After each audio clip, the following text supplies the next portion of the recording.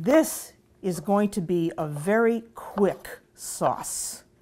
So you want to get your plums into slices and put them in a big bowl. And here's one more. Make sure that they're ripe too.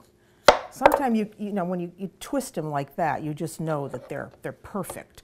When they give, when there's a little give, when you can put your finger right there and they just indent a little bit, then you know that they're perfect. So you should, when you get them home, you should just put them on the counter. That one's really juicy, but this is all going to cook down, so it really doesn't matter.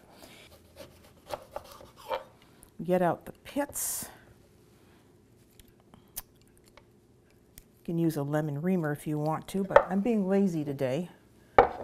Just, you know the best way to get extra lemon juice out of a lemon that's starting to dry?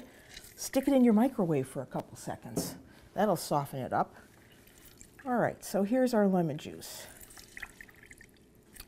So now all we have to do is cook this. So I'm going to put all the plums in a pan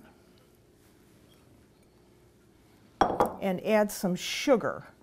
About a half a cup of sugar goes in.